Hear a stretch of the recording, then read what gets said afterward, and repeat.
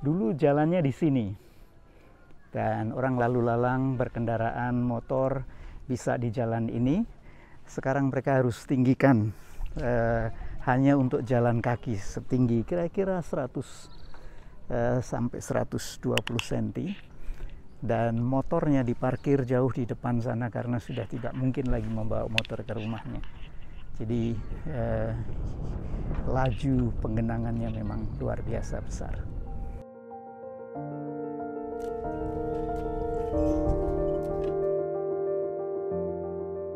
Ini jadi adalah contoh rumah yang uh, belum ditinggikan, tapi sudah sejajar dengan air laut. Bisa dilihat ini perairannya sama dengan uh, lantai rumahnya sendiri. Jadi ini ada urukan urukan itu seperti uh, lahan yang sudah ditinggikan. Jadi rumahnya masih belum ditinggikan, tapi untuk jalannya ini udah bisa ditinggikan.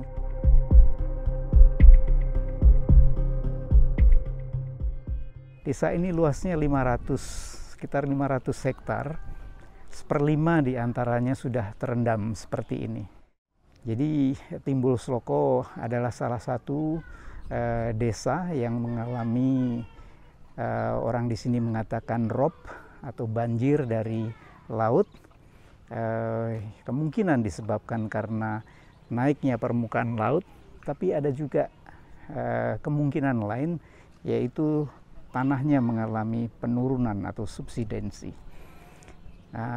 Yang mana yang benar kita mau coba uh, ukur, kita mau coba buktikan bahwa hal-hal uh, itu terjadi atau tidak. Misalnya subsidensi uh, berapa sentimeter per tahun, kalau itu terjadi lambat berapa lama akhirnya desa-desa uh, seperti ini akan uh, terendam air kita akan mengapresiasi betapa luasnya pengenangan ini. Kalau kita lihat dari udara, banyak rumah sudah mulai terendam.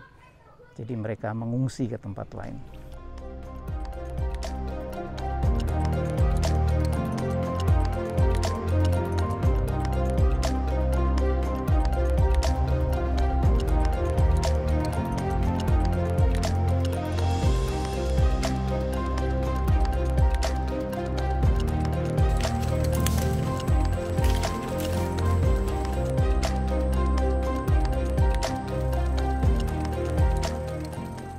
Riset yang dikerjakan ialah e, mengidentifikasi coastal vulnerability index ataupun kerentanan pesisir di wilayah Demak dan tentunya di tiga lokasi nantinya ada Banten dan juga Banyuwangi dua yang lainnya. Ada tiga hal yang saya lakukan di sini terkait dengan penelitian. Yang pertama adalah pemasangan arset yang akan dilanjutkan tiga bulan kemudian untuk pengukuran arset. Yang kedua adalah pengambilan data lapangan untuk biomasa pohon sapling dan juga dilanjutkan dengan pengambilan sampel tanah untuk karbon stok di dalam tanah. Aktivitas yang ketiga dilakukan adalah pengambilan sampel tanah untuk analisis sedimentasi.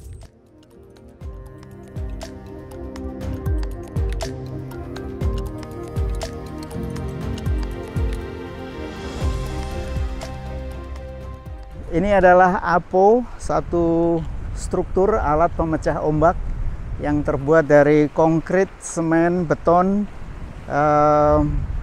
kira-kira uh, 100 meter panjangnya disambung lagi, uh, dibangun sekitar 10 tahun yang lalu. Tapi ini sifatnya sementara karena dengan pemecah ombak ini uh, mangrove yang tumbuh di belakangnya sempat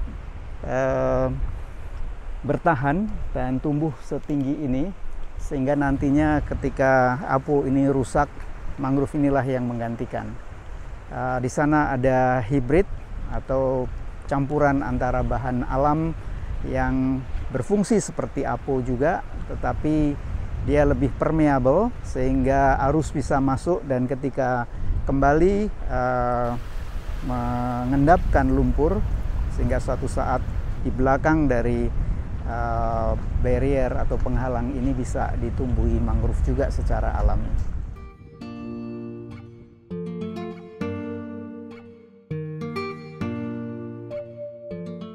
Kegiatan penelitian yang saat ini sedang kami lakukan akan menilai kontribusi hutan bakau terhadap ketahanan pangan keluarga, penghasilan keluarga, serta asupan, kecukupan zat gizi makro dan mikro, keberagaman pangan beberapa kelompok makanan penting pada ibu dan anak usia 2 sampai 12 tahun di wilayah sekitar mangrove.